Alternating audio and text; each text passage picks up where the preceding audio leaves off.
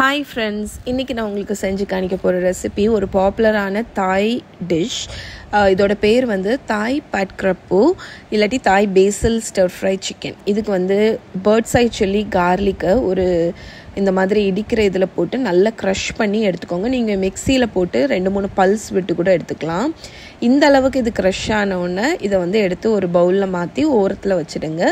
இப்போ நீங்கள் வந்து ஒரு பேனை வந்து ஹீட் பண்ணிக்கோங்க. ஹை ஹீட்டில் ஒரு வாக்கை ஹீட் பண்ணி அதில் ஆயில் ஊற்றிக்கோங்க இப்போ நம்ம இடித்து வச்சுருக்கிற கார்லிக் அண்ட் சில்லியை போட்டு ஹை ஃப்ளேமில் ஒரு ஒன் மினிட் இதை வந்து லேஸாக அது ஃப்ரேக்ரண்ட் ஆகிற வரைக்கும் இதை நம்ம வதக்க போகிறோம் இப்போ ஸ்லைஸ் பண்ணி வச்சுருக்கிற வெங்காயம் இல்லைன்னா ஷேலட் சின்ன வெங்காயம் இருக்குல்ல அதையும் ஆட் பண்ணி ஒரு தேர்ட்டி டு ஃபார்ட்டி செகண்ட்ஸ் அது லேஸாக அது குக் ஆகிற வரைக்கும் அதை நல்லா வதக்கிட போகிறோம் இந்த இந்த மாதிரி.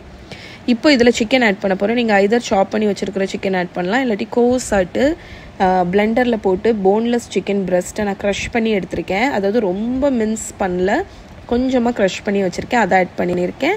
அதையும் போட்டு ஒரு டூ மினிட்ஸ் போல் ஹை ஃப்ளேமில் இதை லைட்டாக அந்த சில்லி கார்லிக் கூட வதக்கிக்கோங்க. தேவையான அளவு உப்பு ஆட் பண்ணிக்கோங்க. இந்த மாதிரி அது லேஸாக ஒயிட் கலரில் ஆகும். அந்த டைமில் soy sauce oyster sauce add பண்ணலாம். அது இல்லாட்டி ஹொய்சன் சாஸ் இதில் வந்து நல்ல ஒரு ஸ்வீட் ஃப்ளேவர் உண்டு.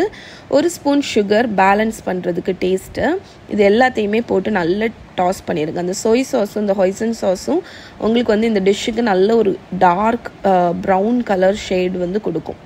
ஸோ நல்ல ஒரு டூ த்ரீ மினிட்ஸ் மிக்ஸ் பண்ணிங்கன்னா உங்களோட சிக்கன் குக் ஆகிடும் சிக்கன் குக் ஆனதுக்கப்புறம் ஃபைனலாக ஒரு கை நிறைய தாய் பேசில் ஆட் பண்ணிக்கோங்க.